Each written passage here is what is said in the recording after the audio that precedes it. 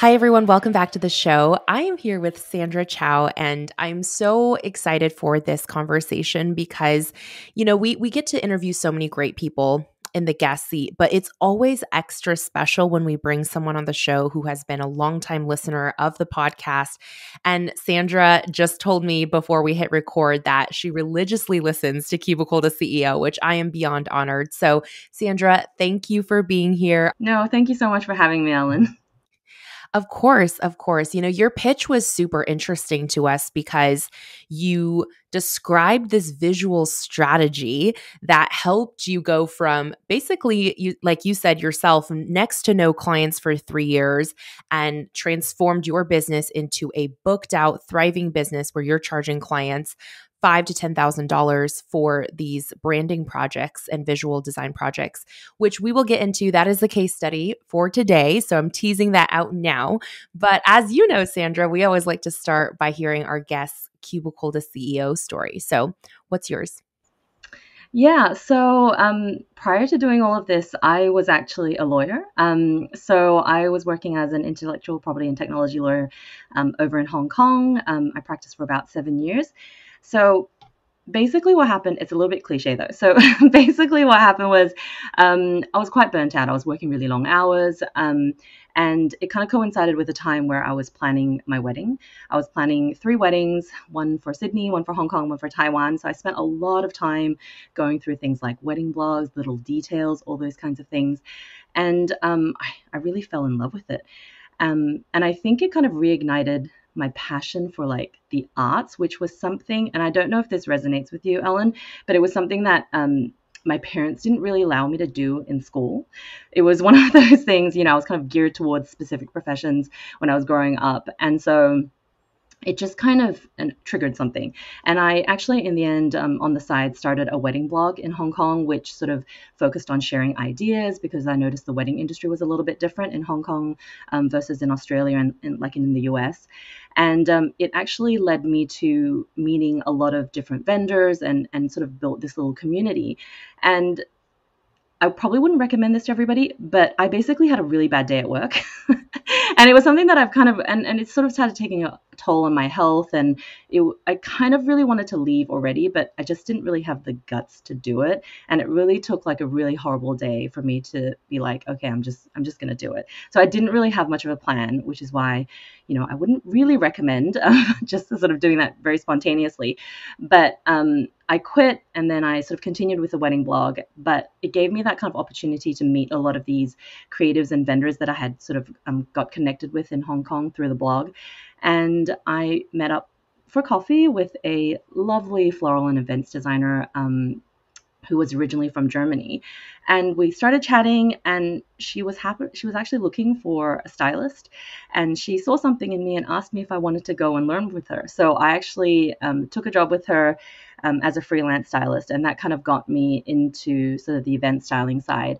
And over time, eventually I moved back to Sydney um, and started my business um, here as an event stylist. So it's sort of a bit of a roundabout way, but that's kind of how how I got to where I am now. Well, I, I can definitely relate to your story, Sandra, because as you know, I also quit my job without much of a mm-hmm. backup plan. However, I will say yours is even more spur of the moment than mine mm-hmm. because you you literally had a spontaneous combustion and was like done we're out over this you know?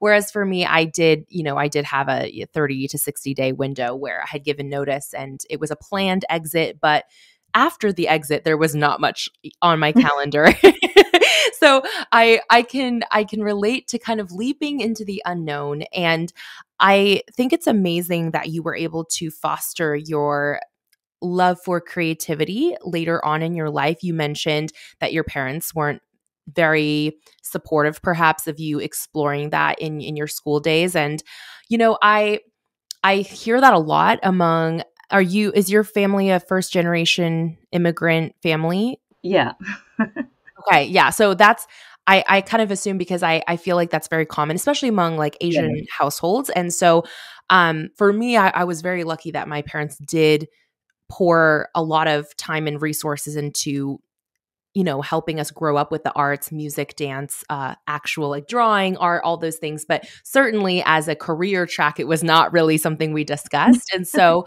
yeah. I, I love hearing your story. And that kind of you know is is really interesting to me that you started as an event stylist so take us back to the beginning of, of today's case study you know you you're at this point we're setting the stage you are not really getting any clients and this kind of was the status quo for you for about three years.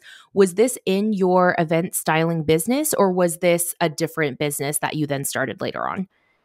So it was in the event styling business. So um, I did a bit of sort of smaller events in Hong Kong because I was still sort of freelancing um, with the sort of floral and events design company. But on the side, I was taking like smaller jobs, mm-hmm. but they weren't really you know, they probably weren't really the right kind of events, you know, um, and I wasn't really, I was charging like next to nothing basically. And, but I was really trying to sort of build up that portfolio, which I thought would sort of help, you know, um, help me build the business a bit more and get more clients, but it kind of didn't really work that way. Um, and then I found that the case as well too when I sort of moved back to Sydney and I was sort of essentially starting from scratch again. But I did have a lot of connections here already and had that kind of um, sort of community here, but I still wasn't really seeing kind of the right leads, if you know what I mean. Yes. Um, yeah, I was getting the leads, but they were either not really the right clients or the right style, or perhaps um, they were kind of just sort of price haggling. So it was it was a little bit sort of tricky in that sense. So I would be taking on some work for the sake of taking it on, but um, and even shoots as well too on the side that were more sort of um, wedding related or events related, and it just really wasn't really going anywhere. And and I have to say it was probably three years until I actually started seeing some like proper income coming in. I know many of our listeners probably welcome that honesty, you know? because it's so easy for a lot of people to have this what appears to be a moonshot to success. And. I think it's really refreshing for you to sit here in front of me today and say, you know, for 3 years this was a struggle. It was hard to make it a viable business, a viable income. And I know you're not alone in that. There are many thousands, hundreds of thousands, perhaps even millions of entrepreneurs who go through that same process. It's just not often that those stories are highlighted. And so I think it's really important that transparency that you've brought here. And then you implemented this visual strategy, this mysterious visual strategy, which I'm so excited to dive into because when I saw your pitch, I was like, what is this? We have to have this person on the show to talk about to talk about her strategy. So, Sandra, tell us what is this visual strategy because it's what changed everything in your business in terms of attracting the right clients and at higher price points. So, give us a quick top-down breakdown of what that looks like. Yeah, so I mean, we hear about brand strategy a lot, right? Which is sort of about building the foundation for your brand identity. And visual strategy basically it helps you deliver your message that and resonates with your sort of your target audience. And you know, when we're talking about visuals and visual branding, you know, a lot of the times people sort of Im- immediately think about, um, you know, imagery or whatnot. But when we're talking about visuals, you're talking about that entire visual representation of your brand. So it ranges from like your your brand identity, like your logo, your fonts, your colors, down to your images, your videos, you know, your website design, your brand collateral, the design of your graphics, all of those things. And it's really about, um, you know, bringing all those elements together to work really cohesively for your brand to communicate for your brand. So it's all about sort of communication and making people feel and connect with your brand. And it's really through that kind of visual storytelling element, whether it's through your you know brand elements or whether it's through like your imagery and your video so for me um, what i found in those sort of early days like it wasn't really so much that you know my my work wasn't good or the you know the events that we did weren't beautiful or anything like that and you know my shoots and things like that would actually get featured in blogs but what i found was they were just kind of pretty. Hmm. You know, um, you, you, I was kind of following trends, you know, things that were kind of on trend at the point, but I wasn't really creating sort of with any um, foundation in mind or anything that was really sort of true to my aesthetic or my story, and really thinking about the kinds of people that I wanted to attract. So what I actually did was sort of an overhaul of my brand and really went back to the foundations of it. Really thought about the kinds of clients that I wanted to attract, you know, the price point that I wanted to um, charge and create around that for them. And so it essentially was a really um, intense form of portfolio building. So I started to be very intentional with the kind of images that I would put out, say on Instagram or my um, website, you know, the, the, the, banner image that I would choose for it um, that pairs with your tagline, all those kinds of things. And instead of just focusing on the pretty, I would sort of think about things like, okay, if I wanted to attract, um, let's say a fine art wedding client um, who had that big budget who appreciates styling and is going to spend on florals and things like that then i also have to put that work out there right? Because essentially what you put out there is what you get back. So mm. um, a lot of the times visual strategy also makes you very intentional with holding back um, what you put out there like sometimes a lot of times we create a lot of things you know especially now in this very content driven world everything that we create we just kind of like dump and put out there and put out there. But sometimes we don't really think like okay if we put this out there what kind of message are we sending? Like do we really want to get that back? Um, so it's it's a whole lot of it's a very um, what's the word? Holistic strategy looking at a lot of different things which really ties in those visual elements that come from you know all the different aspects of your brand all the different client touch points. And it's not really just about like focusing on your instagram making that visually look appealing. It's then like how do we translate that over to your website? Then after you know someone books a call with you what happens next? What about your client proposals? Um, how does that look? What are you going to put in there visually? Or you know how are you going to pair your visuals with your copy? Things like that and really sort of make sure it follows through all those customer touch points to actually convert. And what i found was when i started doing that um, the leads that i were getting in people didn't really question my prices anymore. They would if, if it was you know out of their budget they just they just respect it say like i understand because this is what you deliver this is the value that you offer this is your style and aesthetic we understand the budgets. There isn't any more of like oh can you you know can you do you think you could do this a little bit cheaper? Or like why is it so expensive? I sort of cut out all those kind of questions and converted a lot higher.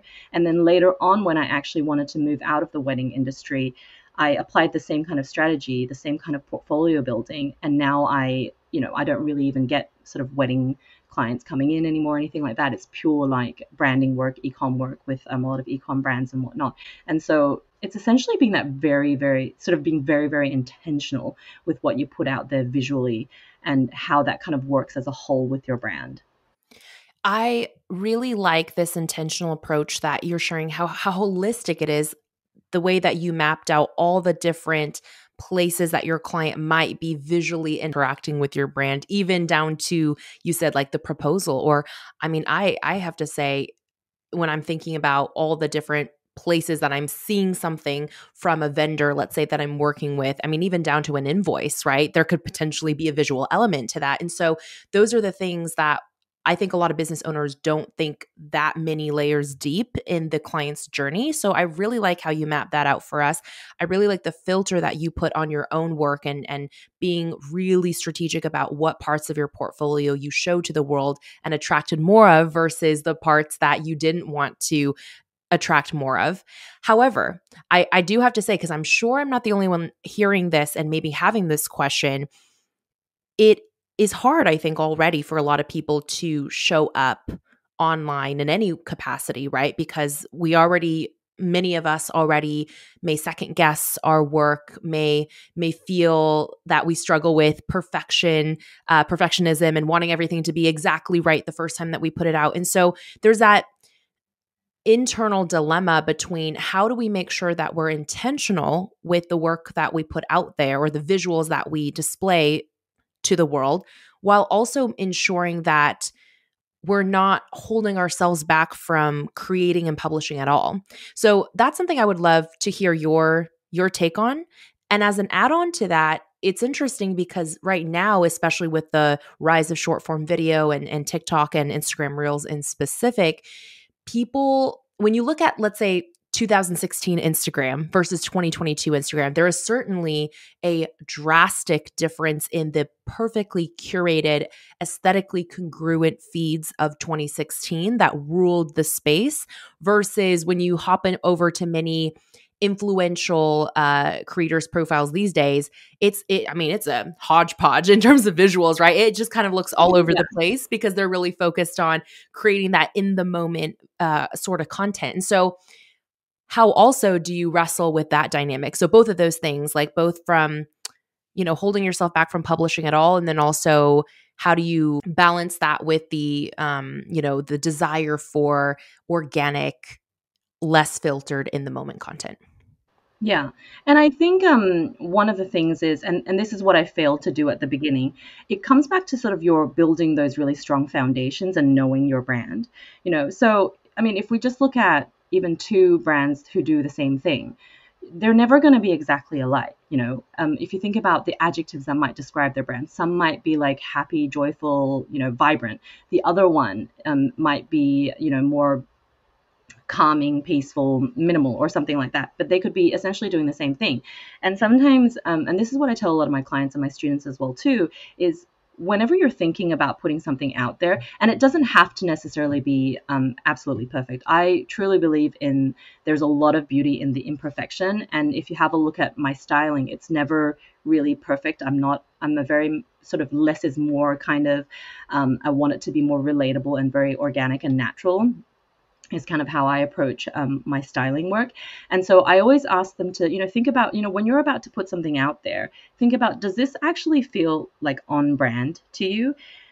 Even if you um, take a quick photo on your iPhone of, let's say, your messy desk space or something like that, you know, to me, that could work very well on Instagram stories. And chances are everything that you have on your desk or your materials maybe you've got something printed that's like your proposal or something like that all of that is already on brand. So even though it's not curated in this in a sense like it's kind of that messy behind the scenes it would still work for your brand.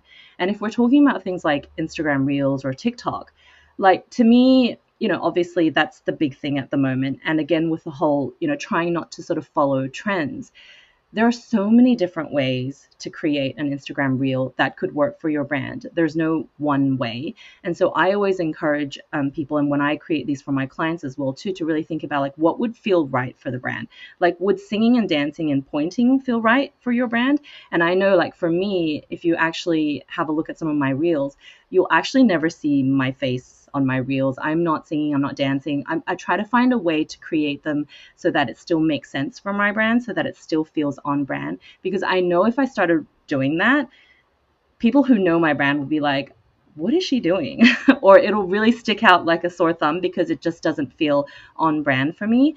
And so I think whether it's, um, you know, your sort of curated, um, picture perfect, you know, professional shoots versus your DIY behind the scenes, your own um, videos and, and images, you can still ask yourself, like, does this kind of feel like you? Would this stick out, you know, on your on your Instagram grid? Like, you know, would would your clients and I mean, would this resonate with your clients and your um and your customers like you got to think about that as well too. So for a lot of like e-com businesses you might see a lot of them still focusing on video content content that centers around like their products and their branding and all of that but you won't necessarily see them suddenly come out singing and dancing about their product or anything like that. So it, it's it's similar in that sense. And i think it's really easy to hop on that um, kind of trend that bandwagon of creating what other people are creating at the moment or just focusing on that as well too and not thinking about the follow-on effect like if you create a viral reel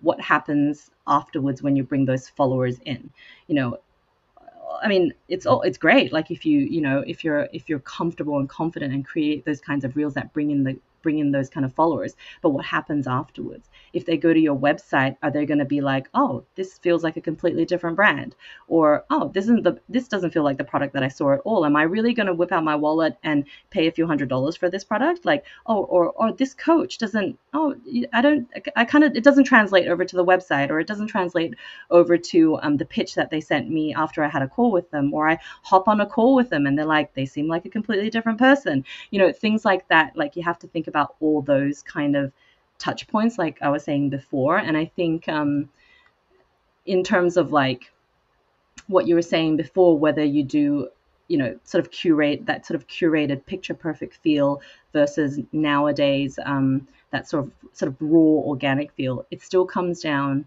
to your brand like if you're an influencer or a very personal kind of brand, it might make sense for you to show up constantly. But if your um, brand, like for me, if I take my Instagram for example, even though we've kind of moved away from that curated picture perfect sort of type of style, I still treat my Instagram grid as like my portfolio. It's still my visual portfolio. I only ever post like professional images for my client projects on there. But then when it comes to my Instagram stories, I I let go a lot more and be a lot more sort of, you know, natural, organic, kind of those raw kind of elements of like the behind the scenes videos and things like that. And that kind of works really well for my brand. But then it's because I still want to attract those um, high end clients for my agency, you know. But if I started just showing up and being acting very influencer like, it wouldn't really work for my brand. So ultimately, I, th- I really think it comes down to being very sure of your brand, knowing your brand really well, and knowing like who you're trying to attract and what's going to attract them and resonate with them and thinking about your price points thinking about the value that you're offering and thinking about your offerings essentially and and what would speak to that i think yeah and i what i'm hearing throughout you know what you're sharing is that congruency is really at the forefront right it's almost like treating your brand as if it were a person and it had a personality is that yeah, personality absolutely. the same, dependable, consistent day in, day out? Or is it like one day, you know, you're this extroverted superstar and the next day you're very stoic and and you know kind of keeping people at a distance and and talking in a way that doesn't feel familiar i think that familiarity and that dependability is really an interesting way to look at not so much like production value, right? Like, is it curated and picture perfect or is it, you know, raw and organic filmed on my phone? But rather, is the actual message that is being communicated congruent in the way that it's being shown?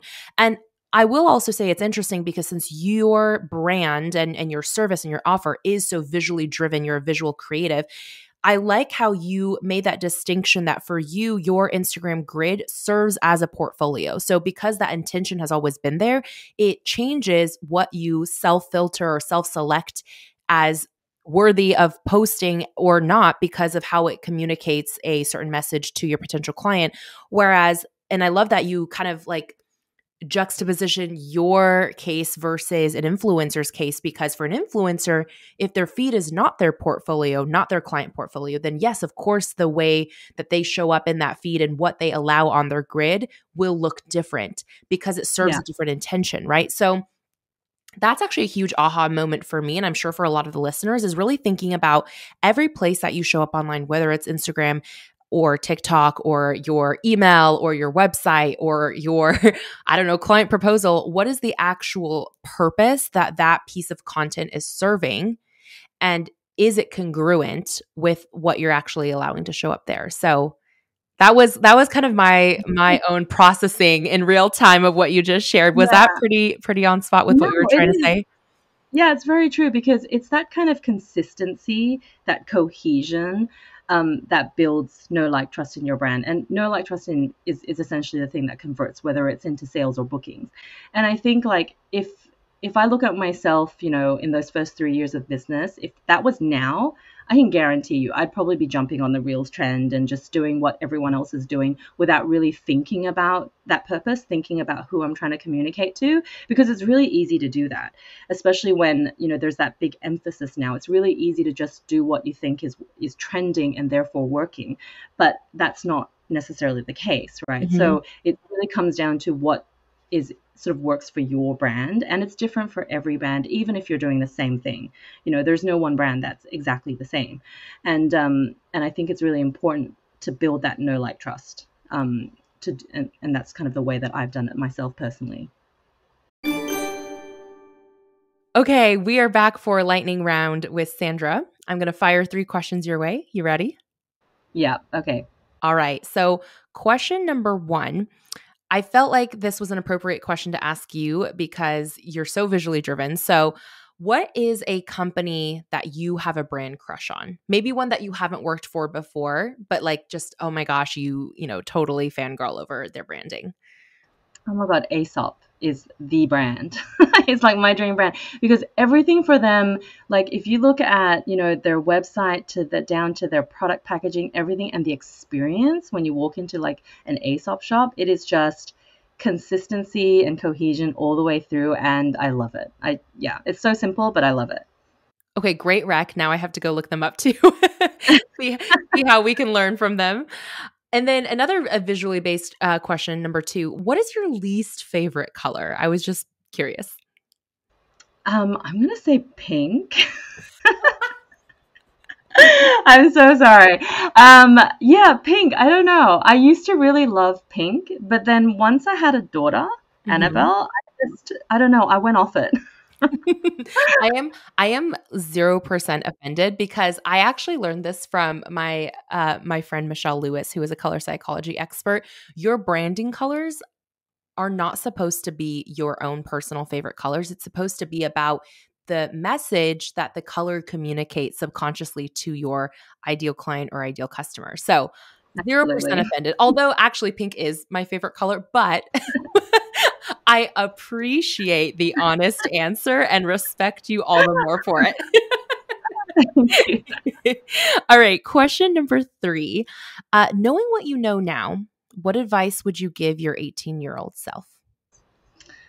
Oh gosh, um, my 18 year old self, that seems so long ago. um, I would just say don't be afraid to try things. I think because I kind of grew up in a way that um, I don't know, I was kind of always told like what it was going to be like or what to do and didn't really have that kind of freedom I felt like. Like not not to say I didn't, but um, I just felt kind of um, stuck, mm-hmm. I think. And so it took me a long time to really just let go and be like, you know what, I'm just going to do it. And that was like, I don't know, another 10 years later. 10, 10 plus years later. So I think, you know, I would have told myself that, like, just don't be afraid to just go for it, I think. That's great advice. And I'm sure your daughter will, you know, benefit from getting to hear her mother's wisdom or hindsight. Absolutely. And eh, circling back to the case study that we have on hand here, just to provide a little bit more context for our listener. So, you know, I, I think at the beginning I may have said brand designer. I I realize now as we're talking that for some listeners they their minds may immediately jump to oh she's a like a graphic designer or like a logo designer which is not at all what you do. So just to give our listeners a little bit more context um, your role as creative director which i feel like is probably the better way to describe what you do creative director and stylist what is what does that look like in case someone's not you know familiar with that type of service? What do you do for your clients so I put together the photo shoots, but I do everything but the actual photography and the videography, for example. So I will um, do work on the strategy behind um, their photo shoots. So you know, we think about you know what are we trying to do with this particular campaign, or are you you know launching um, this campaign to a certain market or and whatnot, and create a shoot around that then I will actually bring together the creative team. I will do everything from prop sourcing to venue sourcing to model sourcing to the casting um, to bring on whoever I need for the team. So maybe hair and makeup artist, and videographer, photographer, assistants, all of those things, and then pull to pull the shoot together and execute it on the day and do the styling as well too. And then um, I work with my creative team to actually create the images and the videos, and then afterwards I work on the post production um, in the sense of like we do the selection of the images and you know thinking about what worked what doesn't work. And then a lot of my clients i have ongoing retainers with them. So it might be um, helping them then um, to strategize for their instagram and doing the content management for them there or um, perhaps then their website management as well too thinking about the visuals that we just created, the videos that we just created, um, how can we use that for their particular campaigns that they were launching or anything like that? So, um, in a nutshell, that's kind of what I do. Everything but the video and the photos, essentially.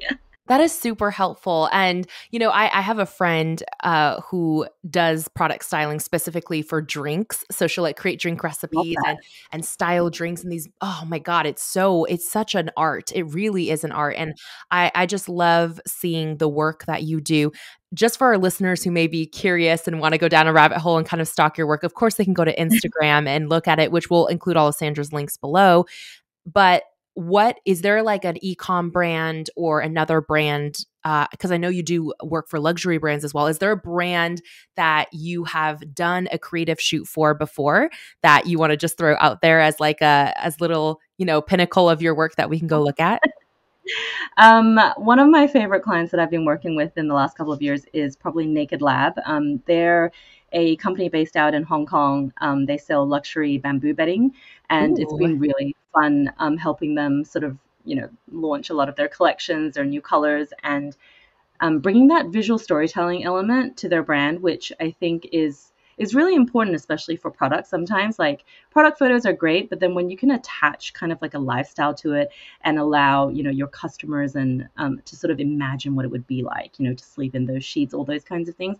I love that aspect of, that, um, of storytelling. So that's been one that's been really fun. And then also Soul Loungewear is one. Um, it's also a brand based out in Hong Kong. Um, they sell luxury loungewear, and their pieces are incredible. If anybody wants to go check it out. Yes, absolutely. I'm like running over and after our our interview, I definitely want to go take a look. I feel so inspired, honestly, when I look at the way that others visually storytell. You know, it, it's it really does. I think people underestimate just how much you know. That, well, I mean, it is that saying a picture says a thousand words. It, it's true. Like yeah. it eviscerates like certain feelings in and emotions that when someone looks at a photo, it just evokes that in you. And I I'm kind of curious when you started utilizing your own visual strategy to track the right clients to you. Um, in your case study, when you first implemented this, you were raising your prices from 500 to $2,000. Now, at the beginning of this interview, I alluded to the fact that now, of course, your pricing has more than 5x from from that point in time, but at the time that you first raised your prices, 500 to 2000 is quite a significant leap. Did that pricing change go hand in hand with the shift in your visual strategy or did you shift your visual strategy first and then test the pricing? What was the order of operations there? So i probably shifted my visual strategy first and then tested the pricing out. Um, and what i kind of did was um, as i booked a client i would slowly bump it up a little bit and then feel a bit more confident with adding a little bit on and i mean to be fair like i knew $500 initially like I mean, I think one sh- I, I, remember doing like a full day shoot for like two hundred dollars and it didn't oh even cover gosh. like my hair cost, you know. But then it was at that time where I'm like, okay, I just need to build my portfolio. I, you know, it's like the only lead that came in that was you know worth doing and and things like that. And so um, it wasn't easy to raise the prices, I think, coming from that. But then so eventually I just kind of bumped it up a little bit and a little bit. And then um, over time, when I started seeing that kind of consistency come in, I really started to look at, you know, the value that I was providing for these brands and then um, started sort of pricing around that a little bit more. And then now, um, also because I've you know pivoted as well to working into a lot of more sort of e-com sort of luxury brands, um, and then doing a lot more than just a photo shoot. Like we do a lot of strategy and then and and those kinds of work. Then um, it adds a lot of more value to the project, so I can charge a little bit more as well too. So um, it always kind of depends on the project with the pricing. Yeah. I think that's really encouraging to everyone listening to this that you don't have to necessarily make that immediate jump and and feel like you're kind of just hanging out there hoping hoping that someone sees the value. I love how you explained how every client you kind of almost like a stair step, right? It's like, okay, I'll charge yeah. you 600 and then you'll you'll be charged 700 and then maybe 850 and it's kind of like an incremental each one builds upon the next. Um and also of course, if you I, I think actually this is really important to state that a lot of people at the beginning of their businesses, one of the number one questions that we get from listeners of the podcast is okay I've, I've always been told i need to focus my my my ideal client and, and i need to niche down but i don't know who my ideal client is because i haven't worked with enough people to really understand who that is. And i think your story sandra is proof that even though you started in event styling and you were doing weddings and maybe you were working with people who weren't your ideal people as you continued to build your portfolio you came to understood okay i love working with luxury brands i love working with e-commerce brands and that was a discovery that only happened because you put yourself out there and signed those clients that may not have been your ideal clients but you I think too many people like they get stuck in the planning and they can hypothesize and build client avatars all day in their heads but like but you truly don't know until you're actually in the field doing the work what you like and don't like, right? Yeah, and I think it's I think it's important to experiment. I think building a business, building a brand, it's it's just one big experiment, right? You know, you might work with a client that you thought, you know, it might be something that you really wanted to do and then it turned out to be like a nightmare and not really what you want to do and and that's okay i think you know it happens and i think it's you know a rite of passage almost to sort of go through those kind of steps. And even now like even though i've been doing this for a while i still have this little wish list of the kinds of clients that i want to work with. And during my downtime i always try to create for those potential clients so that I can, you know, maybe eventually bring them in as well too. So it's it's still like a constant bit of an experiment for me, and I'm still sort of applying the same strategy, trying to, you know, um, expand my client base. Um, you know, because there's always there's always different brands that you might want to work with, right? So it's it's kind of fun in that sense. It's never um like this isn't the end all. I like to think so and it's it's something that I'm still continually building. And so I think um, you just kind of have to experiment.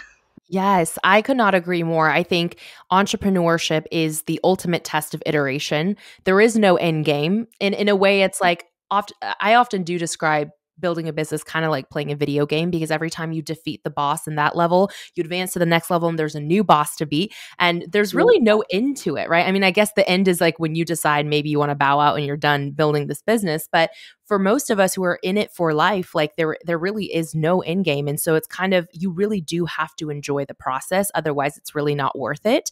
And I, I love that even for you, you're constantly even performing at the level that you are now where you're you know a sought after designer a stylist creative director that you are still stretching your creative muscle and still designing for the clients that you don't yet have. I think that's such a cool thing. I don't think I've heard someone say that before. It's like, okay, let me just create this like pretend project for this client that doesn't really exist, but I want to bring that client in. That is so cool. Which yeah. I think is a perfect lead into like the more tactical pieces of this case study, which I know is like for you as a listener, this is probably your favorite part of the episode where people like give like, okay, these are the things you can implement right away. So let's do that for our listeners today. Uh, first question that I kind of want to know is when you started implementing your visual strategy, was it a global change, as in like you applied it across all of your different channels and customer touch points at one time, or was it a gradual implementation? And if it was the latter, what did you start with?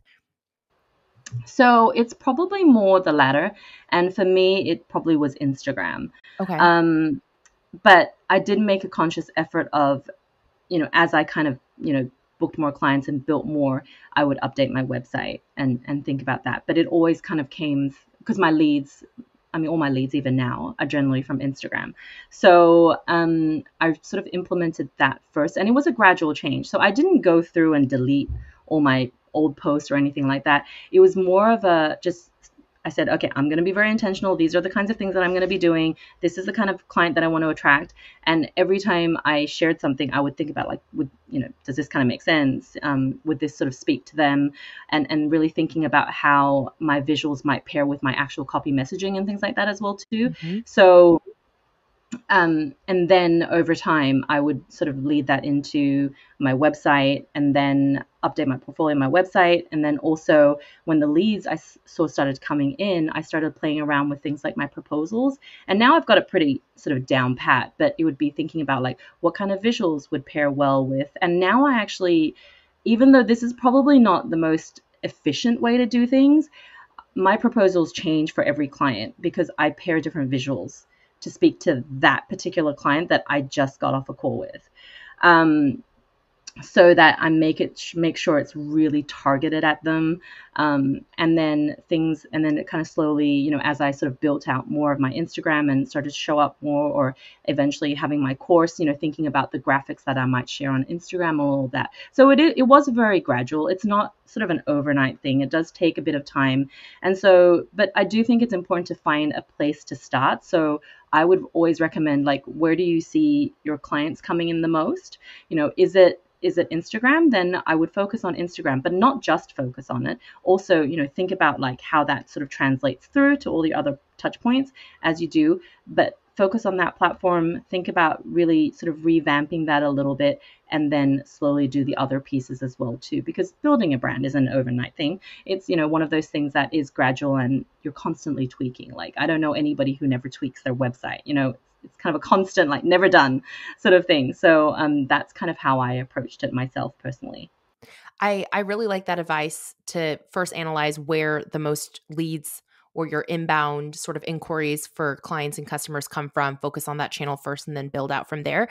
I am not as visually talented as you, Sandra. I will just say that. So I for my brain, it would be very helpful if you could give give us a tactical example of a visual switch you made uh I guess like maybe maybe we could do this. Maybe okay, so you mentioned for example Instagram, your website and then your client proposal. Those three places, all right? Yeah. So, let's go through each of those just very quick. I mean, this could be like a 30 60 second snapshot for each, but let's start with Instagram and say, okay, before what did the no visual strategy look like? Like, what is something you might have posted before that you didn't really give much thought to? And then after you implemented the visual strategy, what did you choose to post and why? And then we'll kind of just move through those three buckets so people can kind of see yeah. this in in you know in real time. Okay, so um, pre-visual strategy, I kind of just posted things that I thought were kind of cool and kind of cute. there was no particular like style or anything like that, but it seemed like the thing to do at the time. So it would be very random. Um, and it's still there on Instagram if anybody wants to go back and and and you'll very noticeably see the the switch. It was like a very sudden, complete like you know 180 switch. Um, and then what I actually did was um, think about okay, what is the kind of so back then it was sort of weddings. So I'm thinking about what kind of weddings did I sort of want to do, like want to want to style. So back then it was more sort of that kind of fine art, that very elegant, um, you know, muted um, that look. And so I set out to create shoots that sort of rep- that sort of looked like